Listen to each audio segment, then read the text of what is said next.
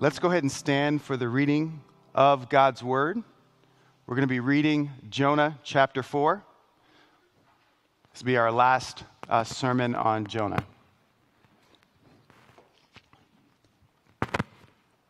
This displeased Jonah terribly, and he became very angry. He prayed to the Lord and said, Oh Lord, this is just what I thought would happen when I was in my own country. This is what I tried to prevent by attempting to escape to Tarshish. Because I knew that you are gracious and compassionate, slow to anger and abounding in mercy, and one who relents concerning threatened judgment. So now, Lord, kill me instead, because I would rather die than live. The Lord said, Are you really so very angry? Jonah left the city and sat down east of it. He made a shelter for himself there and sat down under it in the shade to see what would happen to the city. The Lord appointed a little plant and caused it to grow up over Jonah to be a shade over his head to rescue him from his misery. Now Jonah was very delighted about the little plant. So God sent a worm at dawn the next day, and it attacked the little plant, so it dried up. When the sun began to shine, God sent a hot east wind. So the sun beat down on Jonah's head, and he grew faint. So he despaired of life and said, I would rather die than live. God said to Jonah, Are you really so very angry about the little plant? And he said, I am as angry as I could possibly be. The Lord said, You are upset about this little plant, something for which you did not work, nor did you do anything to make it grow. It grew up overnight and died the next day. Should I not be even more concerned about Nineveh, this enormous city? There are more than 120,000 people in it who do not know right from wrong, as well as many animals. This is the word of God. Thanks be to God. Amen. In your bulletin, there's an outline, and on that outline, there's a QR code. If it's helpful to you, uh, if you click the QR code, it'll take you to uh, the full manuscript on our Facebook page. Just scroll down, you can click the blog. That may be helpful for some of you. What are hindrances to faithful ministry, serving God and others with our whole hearts? Uh, in this story, you know it well. God commissioned Jonah to preach to the Ninevites who were an ungodly nation about to experience his judgment. Instead of going to Nineveh, Jonah goes in the opposite direction towards Tarshish, which is in Spain, in rebellion to God's word. And so, what God does is he's on this ship going to Tarshish. He brings a storm that threatens to destroy the entire ship and all the innocent sailors that were on the ship. Uh, instead of doing that, they throw Jonah off the ship, uh, and as he's sinking, uh, God saves him through a large fish. Um, during that time in the fish, he prays, he repents to God. God has the fish to spew him out, and he goes and preaches judgment to Nineveh. He declares that in 40 days, God will bring judgment. Uh, because of this, the Ninevites repent. It says, from the greatest to the least of them, they put on sackcloth. They repented before the Lord. The king, it wasn't, it was a, instead of a top down approach, it was from the bottom to the top. The king declares an absolute fast saying that neither that no one should eat or drink in the kingdom, not even the animals.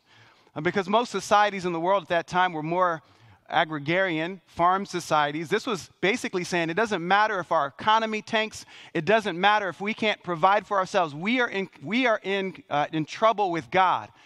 And so potentially this could be the greatest revival ever. Nineveh was one of the greatest kingdoms in the world at that time. They were a tremendously ungodly kingdom.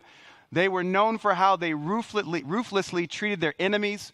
They would skin people alive. Instead of taking, when they conquered a nation, instead of taking the children and women, they would simply wipe them out. As we saw with Babylon, at least they took the children to their kingdom. Daniel and others, they took them to the kingdom. They would wipe out their children. And so the fact that these people repent is tremendous. Um, and so there's a great revival. However, even though Jonah was willing to repent and go and preach, we see in this narrative that Jonah is upset with God because he actually delivers Nineveh instead of destroying them. And so that's what we see in this narrative. Um, after accusing God of being too gracious, he leaves the city, builds a fort to watch and basically, instead of praying for revival there, he's accusing God of being too gracious and basically asking God to destroy them. So he, pits, he, put, he uh, builds his fort to watch to see if God will destroy the city.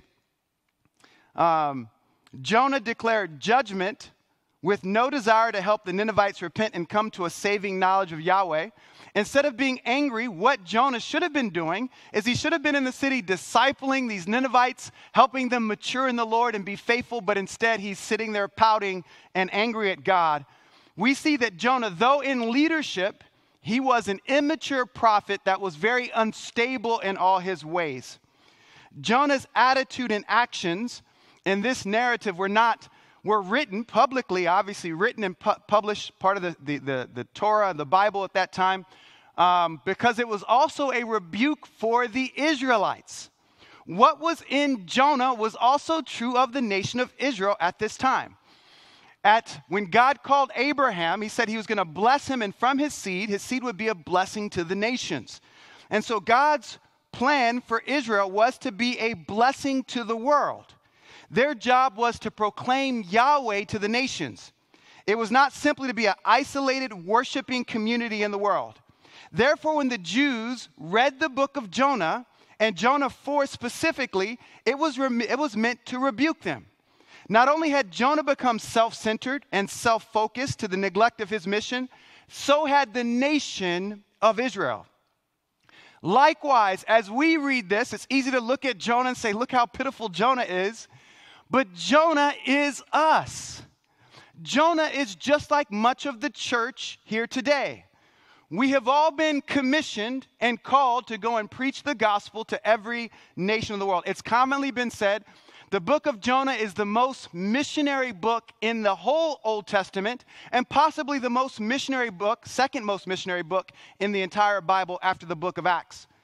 For us as the church, instead of loving and witnessing to the world, Often the church just simply isolates itself in a holy huddle, sits in judgment on the world, on their views and their values, and they are sinful in many ways, and sometimes is even just simply apathetic towards, towards the world. We lack the mercy, the compassion and action that God has towards unbelievers.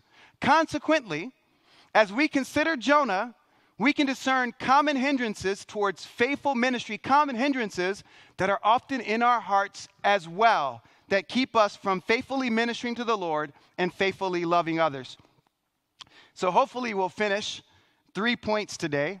Um, here's the first point, if you're taking notes a hindrance to faithful ministry is uncontrolled negative emotions, including anger, self pity, and a hopeless spirit.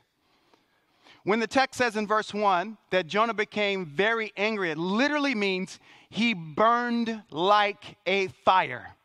He burned like a fire as he saw God being merciful to the enemies, the, to those that he disliked. Um, he even is so angry that he asked the Lord to kill him here in verse 3. Now, this should stand out because we've seen this with prophets throughout the Old Testament, but not for the same reasons. With Moses, he prays to die because they're so difficult. Oh Lord, did I birth these people? Do I have to really care for these people? Oh Lord, just take me now. He's so frustrated with the unrepentance of the Israelites. And with Elijah in 1 Kings, I think it's 19, 1 Kings 19, he also prays, Lord, take me. The, the, the uh, Israelites are killing the prophets, and now they're trying to kill him. He's like, Oh Lord, I don't want to deal with this anymore. Just take my life. But Jonah is Jonah is asking to die because they have repented. It's the exact opposite of what we've seen with all the other prophets in the Old Testament. It doesn't make any sense. And then later in this same narrative, when God removes a plant that had given him comfort and shade from the sun, he declares he wants to die again. Oh God, I just want to die. It's so hot outside. Just take my life. I just don't want to live. Here we see one of, the, uh, one of Jonah's major hindrances to ministry and also ours as well, and that is uncontrolled negative emotions. Uncontrolled negative emotions. He was angry at God because he didn't agree with what God was doing. He was so angry he wanted to die, quit ministry and life. But again, when it was extremely hot, he despairs of life and wants to die again. Jonah's emotions are unbalanced and out of control. And this hindered his ministry to serve God as he should have, but also to serve the Ninevites that were experiencing a revival that he should have been serving even more. Uh, this is a common hindrance to any good work. God has given us emotions, um, has given us emotions as he is also an emotional being. We are made in his image. God is loving and at the same time angry.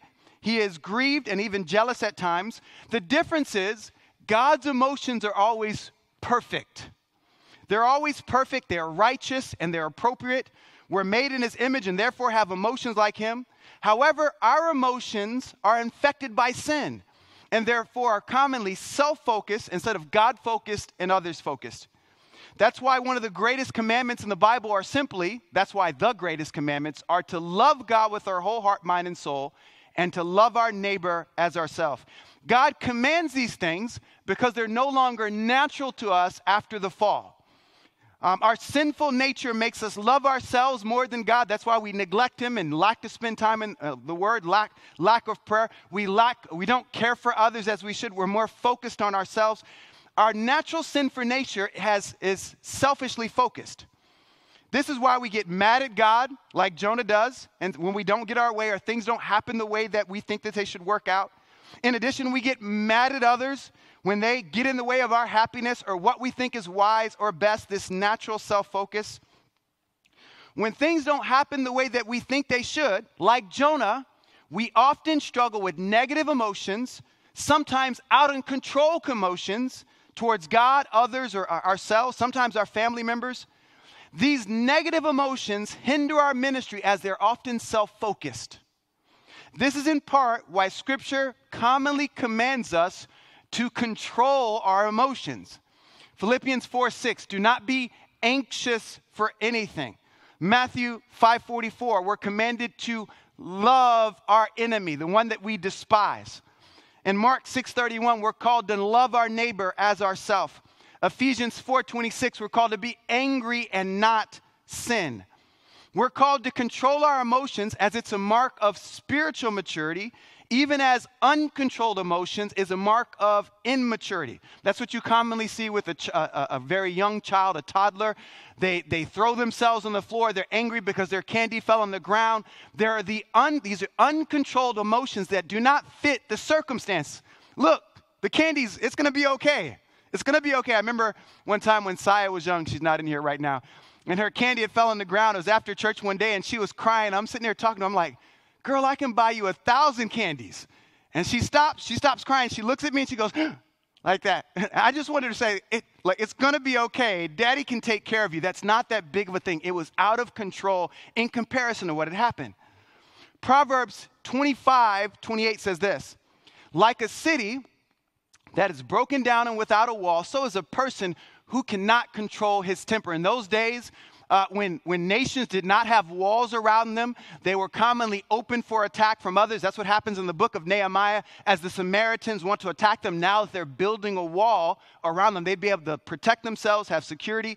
And so a person who's always angry or can't control their temper is like a city without walls.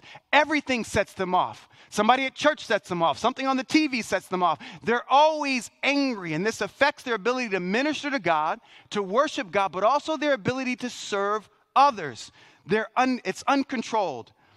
Um, with Jonah, his uncontrolled emotions were fueled by wrong views about God and people Therefore, God aimed to help him control his emotions and thoughts by asking him pointed questions. In verse 4, are you really so very angry? Verse 9, are you really so very angry about this little plant? Verse 11, should I not be even more concerned about Nineveh, this enormous city? Sometimes, and these are counseling skills, sometimes the best thing we can do when a person is struggling with uncontrolled emotions is calmly ask them questions and allow them to think about think about their out of balance responses kind of this, this, this uh, Socratic method. Soccer. The whole point was instead of rebuking someone, especially when it comes to rebuke, but teaching in general, sometimes when the answer comes to themselves and they respond better than if you tell them they're wrong. So you give them questions, and all of a sudden they're right. Oh, yeah, this candy, I can have another piece of candy. It's not that big of a deal. By simply asking them questions, helping them think about it, the response comes to themselves, and they many times respond better. So God asked him pointed questions to help him think about his emotions. He also, God does, allows a purposeful and manufactured trial to teach him about God's love for creation, including children and animals, and Jonah how, show Jonah how unreasonable he was being. Are we controlling our emotions? Or is anxiety, worry, anger, unforgiveness, and other negative emotions controlling us? Unchecked negative emotions will make us unstable and unsuitable to minister to God and minister to others. We see this throughout Jonah's narrative. It's not just in chapter 4, it's pronounced in chapter 4. One moment, Jonah was asking to be killed by being thrown into the ocean. It's not the first time he, he wants to die. Jonah chapter 1. The next, he's praying for God to save him from drowning in Jonah 2. Then he prays God for salvation and recommitted to him while in the fish in Jonah 2 as well. One moment he's preaching to the Ninevites in Jonah 3. The next he's pouting and asking to die because God saves them in Jonah 4. One moment he's happy about a new plant that provided him with shade. Oh, thank you, God. The next he's sad because it shriveled up and he wants to die again. Jonah was a double minded man and unstable in all his ways. You see it throughout the narrative, it's not just chapter 4. Many Christians, unfortunately, are like this and therefore ineffective and unfaithful in serving God and others. Their emotions and therefore their faith are out of control and unpredictable, up and down like the waves of the sea. We may get a sense of the importance of guarding our hearts in Paul's command to the Ephesians to put on the breastplate of righteousness in Ephesians 6:14. Many believe that it is at least in part that it's at least in part a command to protect our thoughts and emotions. The breastplate the, the, in, in the armor protected the heart, the lungs, the loins, other vital organs. Symbolically in Scripture and in the ancient world in general, these were commonly referred to or used symbolically referred to thoughts and emotions. Our heart, right, was the mind, will, and emotions. The stomach, when you're really nervous, you get butterflies in the stomach. So it was commonly used in the ancient world to refer to one's emotion. Paul actually uses this in Philippians 1:8. He says, I long for you with the loins or the bowels of Christ. This the seat of emotions being in the bowels. And so may, part of what at least many many people believe they're different different the, with the uh, armor of god there are lots of different arguments about what they mean but it probably at least at part means this satan commonly will attack our emotions he commonly attacks our emotions to make us all over the place, to distract us from God and doing His will, and sometimes even destroy us and others. Proverbs 4 23 says this Guard your heart, for out of it flows the issues of life. Our family, our work, our church relationships, and everything else is affected by our mind, our will, and our emotions. And so this is part, this is normal for the Christian life to be attacked in these areas, and we must be aware of them. Now, how should we control our negative emotions so that we can protect ourselves from being hindered from doing what God's called us to do? We're going to look at five just quick little points. One, to control our negative emotions, we must bring them honestly before the Lord in prayer. As seen with Jonah, God can handle our emotions. He can handle our wrong emotions and help us work through them. We should never condemn God or become angry at him. That was part of what, uh, what Job was praised for because Satan's job was to make him curse God. Sometimes that may be taught in Christian counseling unwisely. It's okay, just be angry at God, just tell him how mad you are at him. No, no, no, no. That's what Satan was meant to do. And you're not supposed to help Satan do it and help, help them do what Satan wants them to do. Um, we should never charge God with wrong. Job is praised with that, but we should be honest with him about our struggles. This commonly happens in the Psalms. The psalmist pours out his fears, his worries, his negative circumstances. They're shooting arrows at me, they're lying about me, the wrong thoughts before God, and yet hoping in God's saving grace. Oh, soul, why are you disquieted within me? We shall hope in God. And so, one of the ways that we do work, that work through these negative worries, these worries about our future, these worries about difficulty at work, these worries about finals that are coming up, is bringing these emotions before God and allowing Him to work in our hearts to bring us to peace and trust in Him. Second, to control our negative emotions, we must evaluate them biblically, often with the help of others. We do this by considering our emotions against Scripture's teachings. We're called to be anxious for nothing, as we read in Philippians 4 6. We're called to not be prideful or jealous or selfishly angry or seek vengeance. We also evaluate our emotions by having honest conversations with people. Uh, we also evaluate our, no, um, our emotions biblically by having honest conversations with people. Again, when God asked Jonah questions, it was meant to help him evaluate his thoughts and emotions. Were they justified, righteous, and like God's thoughts and emotions? Sometimes it helps to have conversations with godly, wise believers and allow them to challenge our thoughts and our emotions and encourage us biblically. Third, to control our negative emotions, we should act in line with Scripture regardless of how we feel. We should act in line with Scripture regardless of how we, sh- we feel. We should love an enemy by acting in a loving way towards them, even though we struggle with despising them right in the pit of our belly, right? The loins. We feel it right there. That person just gets on my nerves. We should pray and give thanks when we're anxious, asking for a peace and God's sovereignty over a situation.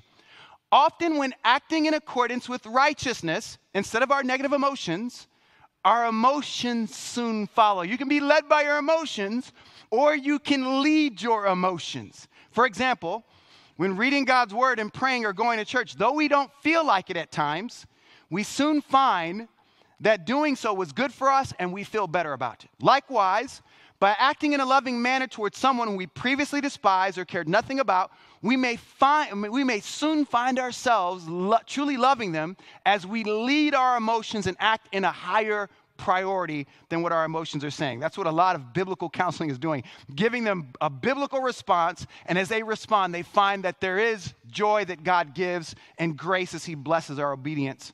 Fourth, to control our negative emotions, we must live in the Spirit through practicing spiritual disciplines.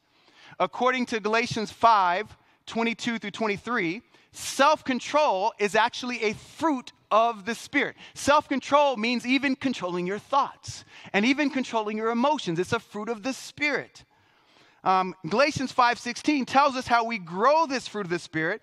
He says, "Live by the Spirit, and you will not fulfill the lust of the flesh. The lust of the flesh is anger and outfits of rage and all these other things. However, when we live in the Spirit through prayer, worship, Bible study, obedience, service, God births or produces self control in us. The problem, therefore, and we all struggle with negative emotions. Sometimes they're out of control emotions. I know I struggle with them myself. One of the problems with us in those time periods, and for many believers, is instead of living in the Spirit, what do we do? We visit the Spirit on occasion. We're kind of like tourists or temporary residents instead of a citizen who's living in these disciplines. As we grow in spiritual disciplines, the Spirit of God empowers us to control our negative emotions and thoughts, which hinder our ministry to God and others, as it did with Jonah. Paul said this to Timothy who was apparently timid and considering leaving the ministry. 2 Timothy 1 7, for God did not give us a spirit of fear, but of power, love, and self discipline. The word self discipline can be translated sound mind or sound judgment. Timothy, I know you're worried. I know people are looking down on you because you're young. You've got conflict happening in the church. You've got false teachers. You don't feel like you're up to the task. You want to quit. But God has not given you that spirit of anxiety, that timidity, but He's given you a, a spirit of power to do the task, love for people that are difficult, discipline so you can do the work you need to do so you can serve others, discipline to control your mind and your emotions so you don't destroy your ministry um, God has given you a spirit to help you do what you've been called to do.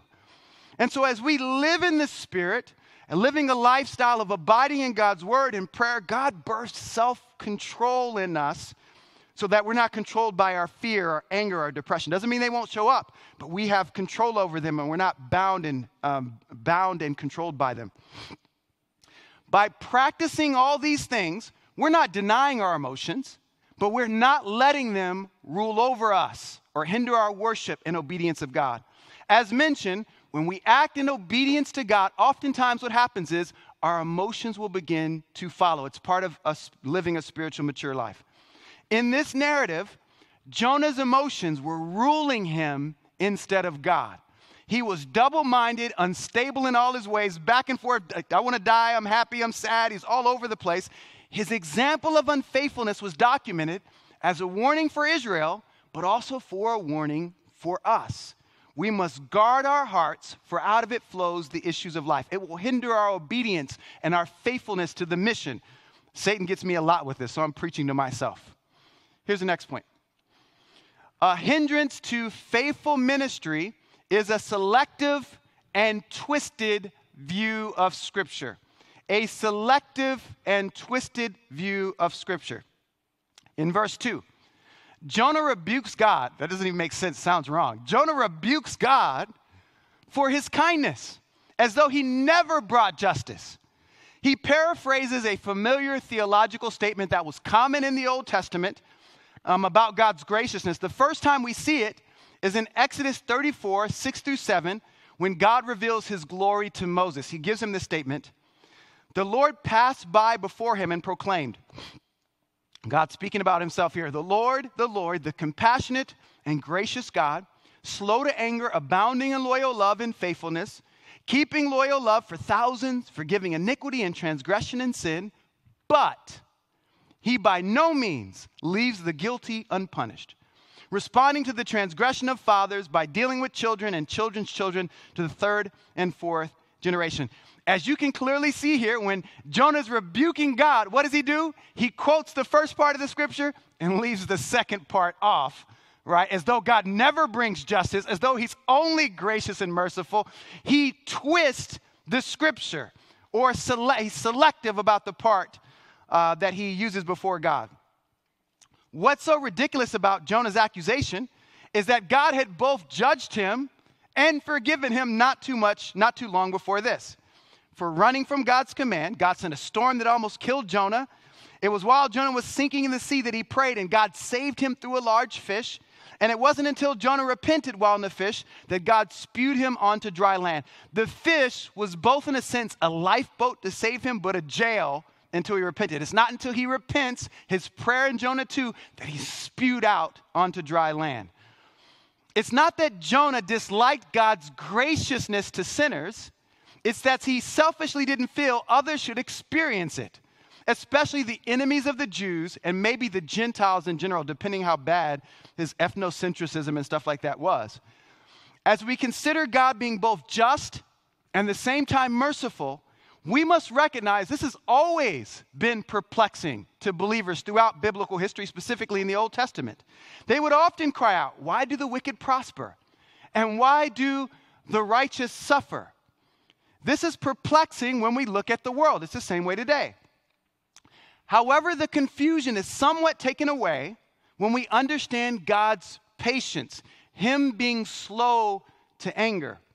2 Peter 3 9 says this the Lord is not slow concerning his promise, as some regard slowness, but is being patient towards you, because he does not wish for any to perish, but for all to come to repentance. God waits to bring justice sometimes for an entire lifetime or for several generations because he's patient and desires that none should perish. Consequently, when looking at the world often around us, it's often confusing and sometimes depressing, depressing. Why do the wicked prosper? Why do they get their own reality TV shows, have nice houses, get away with crimes, while the righteous often struggle and depressed or going through difficult times? It's because God is patient. He's patient with us, He's patient with others. In fact, we see God's patience not only with the Ninevites in chapter 3, but we see it again here with Jonah in chapter 4. Initially, when Jonah ran, God's justice and mercy came after him, seeking to change him more into God's image. Then, in this narrative, chapter 4, Jonah selfishly complains, but God graciously and patiently teaches him. Because of God's patience, there will be at times be great and prolonged, unfortunately, injustice in the world. We see it all the time. Many governments, prolonged injustice, prolonged crime, prolonged corruption in our governments. And yet, because of his patience and his mercy, there will also be great salvation and great revivals.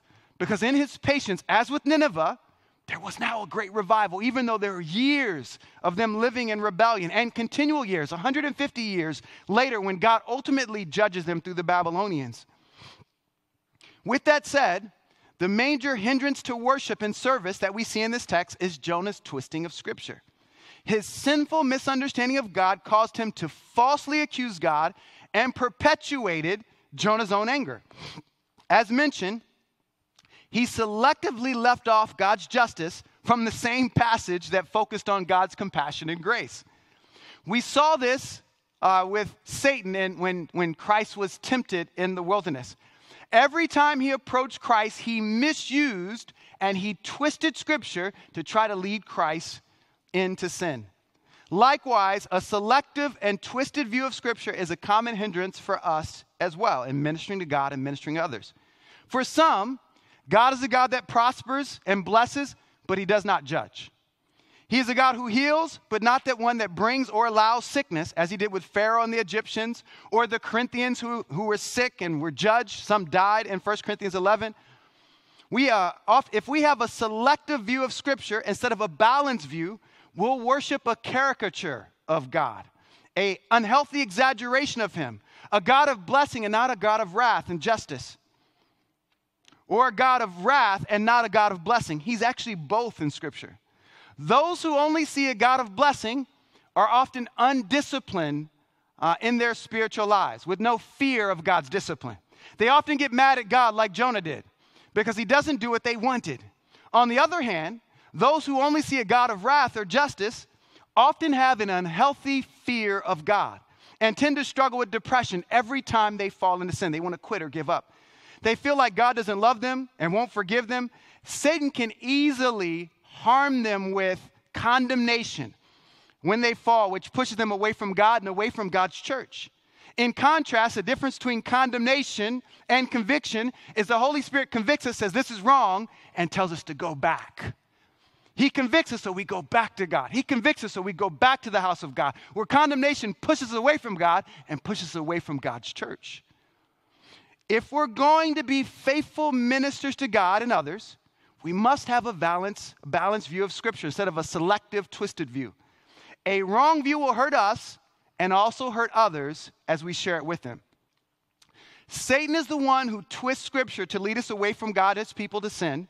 We must be very careful of becoming his mouthpieces, even if it's only into our own ears.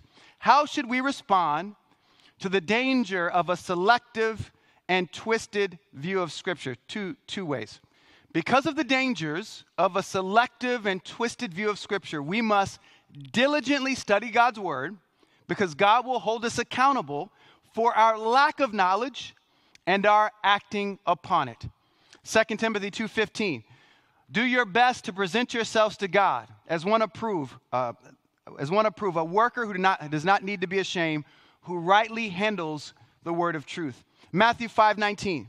So anyone who breaks one of the least of these commands and teaches others to do so will be called least in the kingdom of heaven. There's consequences for our, our disobedience, but also for our teaching. But whoever obeys them and teaches others to do so will be called great in the kingdom of heaven. Second, because of the dangers of a selective and twisted view of Scripture, Ministers must teach the whole counsel of God and not just choose their favorite passages or their favorite doctrines.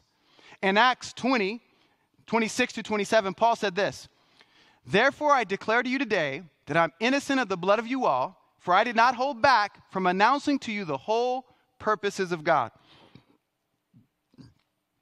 Those who sit under half truths of God's word are prone to deception and prone to idolatry, as they can't discern error mixed with truth. There's an, there's an unbalance. Again, they make caricatures of God that do not fit the full, full counsel of God's scripture. By teaching the full counsel, ministers raise up mature Christians who will be less vulnerable to deception and more capable in their ministry to others. Again, Jonah had a selective and twisted view of Scripture, which hindered his ministry to the Ninevites and God, and it will do the same for us. How do we view God? Does it match what Scripture says? Or is it a perversion that will hinder our worship and our ministry? Is God overly harsh, overly merciful, or even apathetic? The God of Scripture is perfect, and we must know Him correctly to both properly worship and to properly minister to others. Here's our last point a hindrance to faithful ministry is an idolatrous focus on comfort, an idolatrous focus on comfort, and at times wealth. Again, while Jonah's outside the city, waiting for God to judge it, God began to work on Jonah's wrong attitudes and misplaced priorities. God called for a plant to quickly spring up and provide shade over Jonah's head. This delighted Jonah because obviously it was a hot, uh, a sunny day. Then, surprisingly, it says Jonah was happy. Then God commands a worm. Remember, one of the major themes of the book of Jonah is God's sovereignty. He appoints a, appoints a storm. He appoints a fish. He calls the fish to throw, throw him out. He, he, he calls for a plant to grow. He calls for a worm. God's sovereignty is mentioned throughout the book of Jonah, one of the major themes of this book. So God sends a worm to destroy the plant and a hot east wind to blow on Jonah's head. The sun and the hot wind uh, as they blow on Jonah's head, he begins to despair of life and again claims that he wants to die in verse 8. God used the gift of the plant and its removal to teach Jonah a lesson. God often does the same with us. He gives us many blessings. He gives us a friend who's a tremendous comfort and encouragement, and then out of nowhere, he or she moves away or the relationship ends for whatever reason. He provides a job that meets all of our needs, but then out of the blue takes it away. With these blessings and the removal of them, God encourages us for a season, but also reveals sinful attitudes in our heart or idols that have been called. Sometimes the gifts of God become idols for us. Uh, our marriages, sometimes our children can become an idol, our jobs can become idols. And like I believe what happens, the reason God asked for Abraham's child, this child he'd been waiting for his whole life, the child of promise, I believe it had become an idol. And so he asked for the child just to get his heart right. Um, this is how God uses trials in our lives. They challenge us, they test our faith, and if we submit to them, He reveals our weaknesses, our idols, our wrong attitudes, and helps us get rid of them and equips us for more ministry. After the plant dies and Jonah's in despair because of it, God asks him, Are you really so angry about this just little plant? Jonah confirms his desperation it's not so much that Jonah had become really become friends with this plant and was really excited about this plant. What was it? It was the comfort. It was the comfort that this plant provided that Jonah was angry about. Um, God says to him, if Jonah was angry about the loss of comfort from a random plant that died, should not God be more concerned about 120,000 people who don't know right and wrong and many animals in Nineveh as well? When God referred to the 120,000 people who didn't know right from wrong, some believe, as I've mentioned before, that he's referring to children. They don't know this is wrong. They don't know not to stick their finger into the, the, the electric socket. They don't know right from wrong. If this is true, then there are at least 600,000 people in the city or at least in the surrounding areas as well. If this is correct, the logic behind the question was though the parents deserve judgment because of their sins, but what about all those children? Who don't even know right or wrong yet. Yeah, maybe the, their parents have done a lot of evil, but what about the kids? And what about the animals? Shouldn't God have mercy on them as well? Others, however, believe that God is simply referring to people who lack spiritual or moral discernment. In their culture, like many of our cultures today, and I can say this is an American, like my culture, what was wrong was right, and what was right was wrong. Everything had started to become backwards in the Ninevite culture, as we see it happening in many, many countries around the world. When God referred to the animals, he was probably demonstrating how even the animals had more value than the plant. They were beings. The plant, you, even the animals have more value than the plants, and you're not worried about the destruction. You're worried about the plant's destruction. What about animals? They're more important than the plant. This is a hindrance for many believers. God has given us all the Great Commission to go and preach the gospel to all nations. However, for many, including myself, their greatest hindrance is their comfort. It's uncomfortable being around people who speak a different language and have different cultural expectations. It's hard to buy food and clothes, eat, and navigate society. Consequently, they feel no compulsion to go to these places, and if they're already there, they want to leave quickly. But the souls of those people are more important than our comforts. Many can't do ministry to the needy because they can't leave the comforts of home and family and country. Though Jonah seems tone deaf when we're looking at this passage and hardened in this narrative, he, re- he represents much of the evangelical church around the world. Comfort and materialism are more important than the souls and God's mission. Likewise, we get a good picture of this in Luke 9 57, where there's a man who approaches Christ and says, I'll follow you wherever you go. In Matthew 8 19, which is a parallel passage, it tells us he was a scribe. This means that he meticulously copied the Old Testament law, probably had, uh, because part of the way you memorize something is by writing things down. He probably had whole uh, books of the Old Testament memorized. He was a teacher of God's law. However, he had a major flaw. In response to the man, Christ could look at this man's heart and said, Foxes have holes and birds of the air have nests, but the Son of Man has no place to lay his head. Christ knew comfort and luxury were this religious man's idols that would hinder his actual desire to do ministry that he proclaimed. Essentially, Christ says to him, Foxes have a better home than I do, and birds are more comfortable than me. Are you really sure you want to be my disciple? Likewise, we must recognize that the desire for comfort and luxuries can be a major hindrance to our ministries as well. It can keep us from doing God's will loving others and serving them. When Abraham was called from Mesopotamia, he had no guarantee things would be more comfortable in Canaan than the land he had left. And what happens is, you know what happens? When he gets there, what's happening? There's a famine there. There's a famine right when he got to the land. This caused him to leave the promised land and head to Egypt, where he almost lost his wife to Pharaoh. His life in Mesopotamia and Egypt were more comfortable, at least as far as the amenities, but they weren't where God wanted Abraham to be. Canaan was. Likewise, we must be careful of our desires for comfort and luxuries. They're often hindrances to the work of ministry. In Luke 14, 26 to 27, Christ said, if we're going to be, our, be his disciples, we must hate our father, our mother, our wife, our children, our brothers and sisters, and even our own lives. And we must take up our crosses if we're going to be our disciples, bearing all types of pain and discomfort to be his disciples and do the ministries God calls us to.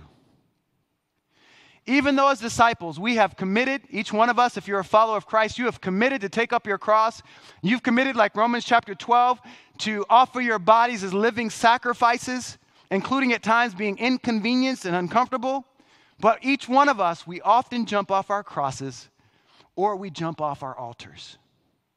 We're often shocked when following Him leads us into famine or removes our comfort. Like Abraham, we at times flee to Egypt get mad at God, or doggedly cling to our comforts rather than submit to God's will for our lives. Often God needs to rebuke us like he did with Jonah and say, Does your comfort matter more than the souls around you? We're not told how Jonah responds. The author, like a good movie or TV show, leaves us on the cliffhanger, which is probably meant to make us wonder what, ha- what Jonah's response is, but also look at our own hearts. Do our comforts matter more to us than lost souls? Will we leave home, family, job, and comfort to reach people that God cares about? The good thing about this cliffhanger is that if Jonah is the author, which most believe, that implies he repented of the nationalistic pride which caused him to despise the Ninevites. He repented of his love of comfort more than the restoration of God's creation and people. He repented, and so can we. God's kingdom must be more important than our comforts and luxuries. I want to invite EPT up here. The story of Jonah was meant to challenge the nation of Israel They were called to be lights to the Gentiles, including those who hated and mistreated them, as the Assyrians did. They were not simply called to have a holy huddle where they cared for themselves and looked down on others. They were called to reach out to the nations so that they could know Yahweh as well. The church, again, has the same mission to go and make disciples of all nations around the world, baptizing them in the name of the Father, the Son, and the Holy Spirit. Will we, on a cliffhanger, complete our mission? What are our hindrances to faithfully completing it? Jonah ministered to the Ninevites, but he was not faithful. He might be called effective because there was a great revival, but he was not faithful. He preached, but didn't even desire for them to repent. When they, decide, when they started changing, he didn't stay to disciple them. He became mad at God for forgiving them and hoped that God would change his mind and judge them. His ministry was effective, but it wasn't faithful. It was not pleasing to God, and certainly God couldn't use Jonah as much as he would have liked to until he got rid of the hindrances in his heart the pride, the selfishness, the anger, the love of comfort, and his evil nationalism that was hindering his work. What are hindrances to faithful ministry that we must be careful of?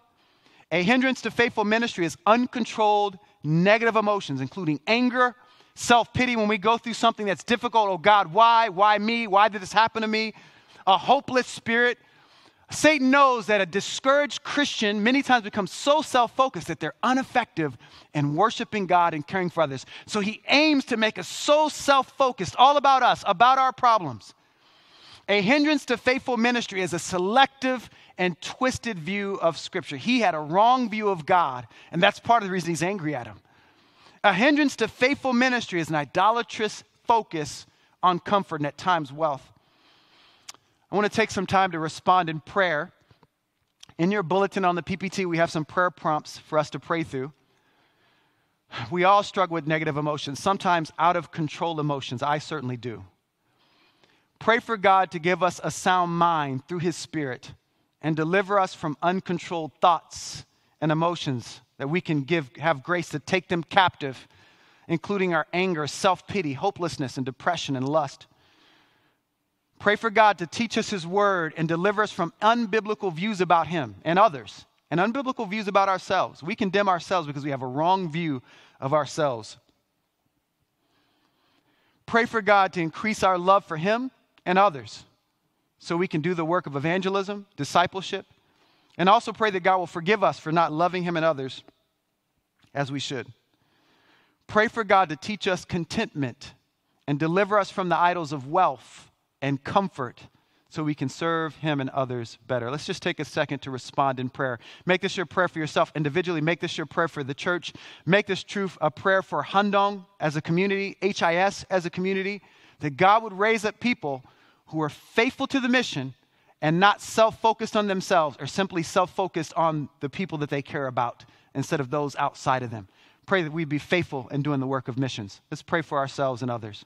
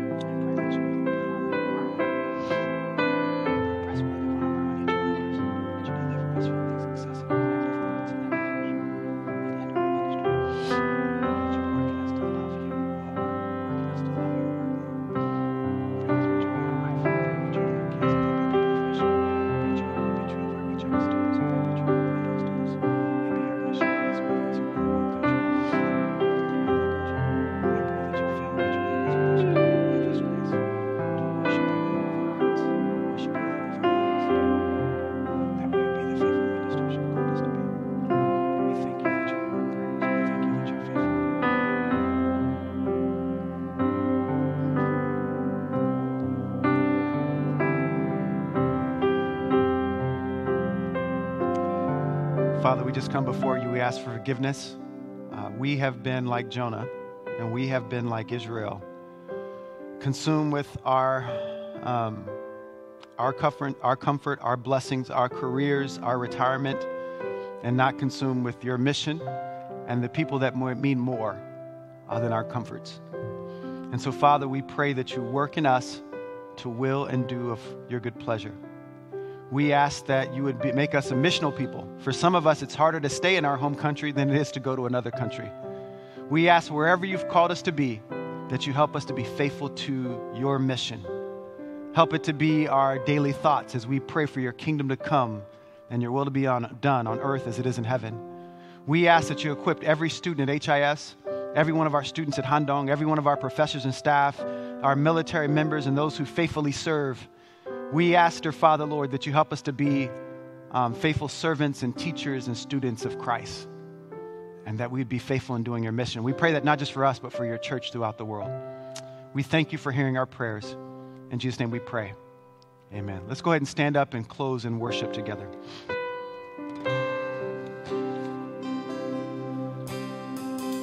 Sing, find rest, my soul.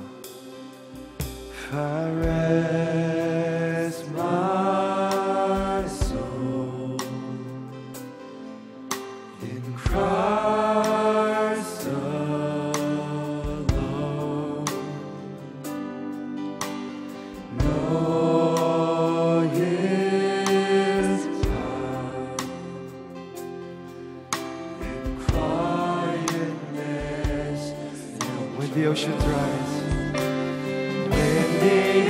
oceans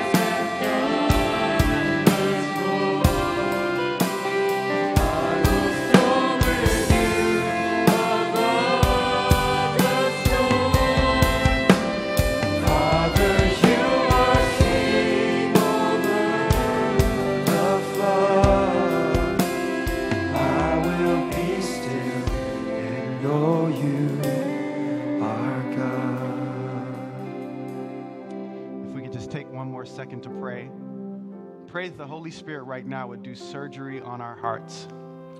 That He would get rid of any wrong views about Him, wrong views about His Word, get rid of any idols in our heart that would keep us from sacrificially serving Him, taking up our cross and offering ourselves as living sacrifice on the altar. That God would cleanse each one of us, and not just us, that He cleanse our community, our broader community, that He cleanse the church in Korea of the idols that hinder worship and hinder service, cleanse the churches in various nations around the world. That He'd raise up a church in this time frame, that He would purify, that He'd wash, He'd cleanse, that'd be ready to do mission, but also be ready to suffer. As we get closer to His coming, suffering will only get worse for those who are true followers of Christ. Pray that He would purify our hearts right now and raise up a church, the church, that's ready to do the work of mission. Let's make that our prayer right now. Every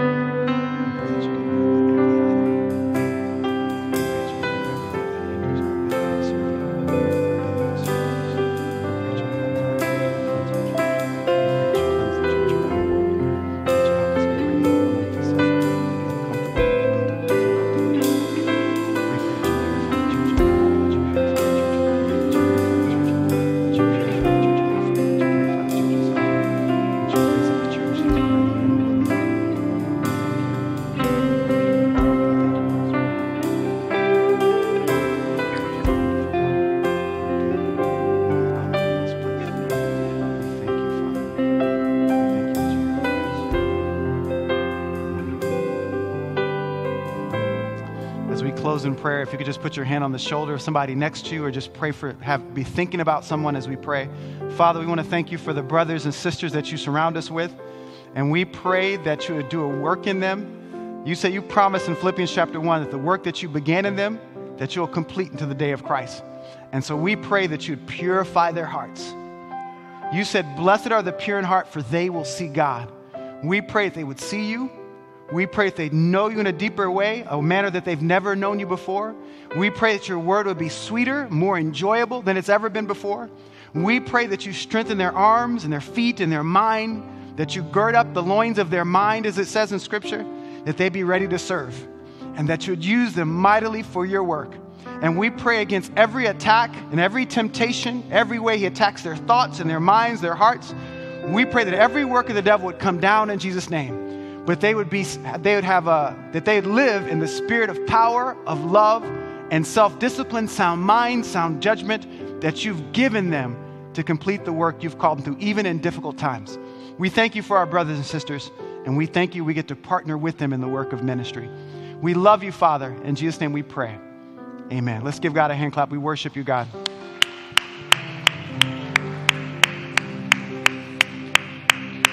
Amen. God bless you. Finish strong.